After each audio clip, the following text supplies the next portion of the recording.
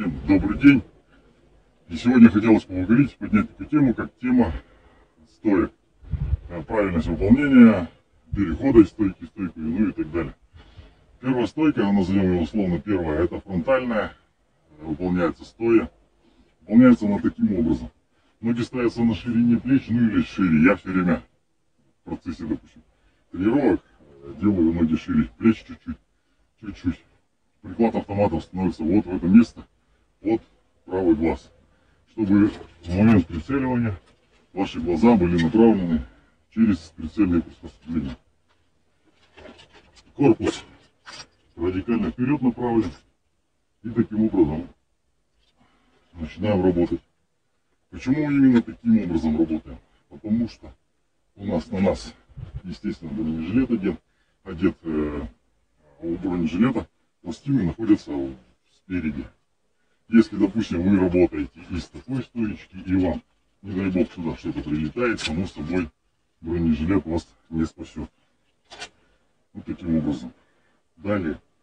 Да, еще один момент.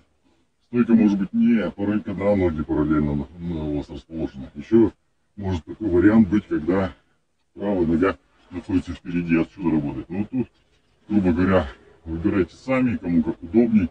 Я использую в своих тренировках и такую стойку, и такую. Далее, стрельба с колена осуществляется. Я все время принимаю, как вы уже могли заметить, кто смотрит мои видео, я все время использую такую стойку, когда э, моя правая нога э, находится впереди. То есть вот таким образом. Локоть э, находится вот здесь на колене. Не на самой коленке, а вот здесь вот сбоку.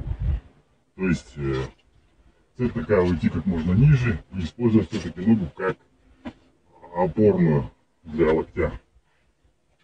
В принципе, он прекрасно, прекрасно подходит как опорная. Отсюда можно работать таким образом. В принципе, довольно-таки удобно, но, естественно, конечно, нужно немножко привыкнуть. Далее. Да, еще, ну и само собой, левосторонняя стоечка существует. Здесь я, допустим, пользуюсь так, что нужно уйти просто как можно ниже в ней. Как можно ниже. И отсюда работаем. Дальше. Стойка. Не стойка, а стрельба из лежачего положения, из положения лежа. Значит, э, как ее принимаем правильно? Я все время да, э, делаю вот таким образом. То есть руку, руку ставлю на землю, отсюда ноги отбрасываю назад. Отбрасываю назад и принимаю положение лежа для стрельбы. Таким образом. Возвращаюсь через колено назад. Ну, я так привык, мне так удобно и так далее. Некоторые, конечно, используют немножко по-другому. Они падают за колено, отсюда падают на корпус, но я так, мое мнение, так не совсем правильно делать. Не дай бог вы там без наколенников, колени вы разобьете. Ну и тренируем, нарабатываем так, таким образом стоечки. То есть делаем такие упражнения, как я уже у меня и на канале. Есть они их 6. 6 упражнений, в дальнейшем их все покажу. Ну, в принципе, я уже их и показывал, у меня есть. Ну и таким образом вот нарабатываю.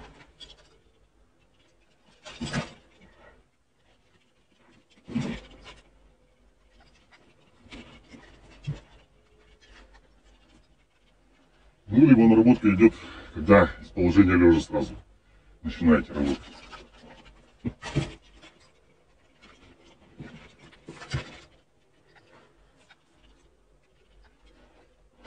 Ну и таким образом постоянно тренируйтесь.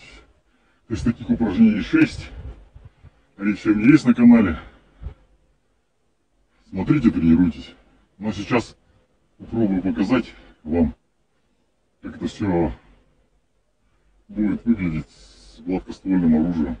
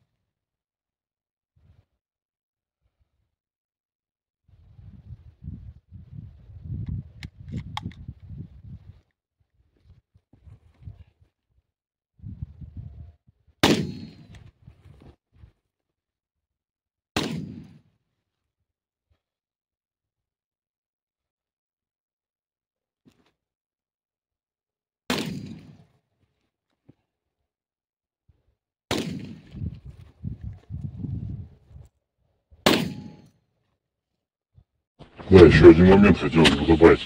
Ну, вы все видели, что в качестве мишени я использую вот такие, грубо говоря, пятилитровки, одетые на какие-то палки. Ну, почему? Потому что, ну, не вижу смысла здесь э, ставить какую-то мишень, э, четвертую там или что, грудную, и по ней стрелять бессмысленно. Вы попадаете, тем более дробью, постоянно выстрел за выстрелом, а потом просто не определите, попадаете вы или нет. А здесь в качестве гонга, грубо говоря, вы используете пятилитровку, очень удобно, в принципе. Э, Я же показываю, как заниматься самостоятельно.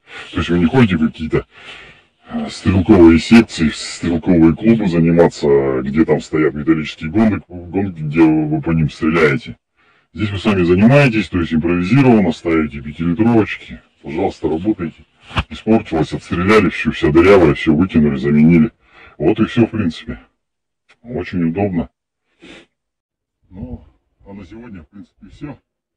Тренируйтесь, занимайтесь, слазьте с дивана, выходите из зоны комфорта, выезжайте на природу, занимайтесь, развивайтесь. Ну, и до свидания, до, до новых встреч. Всем пока.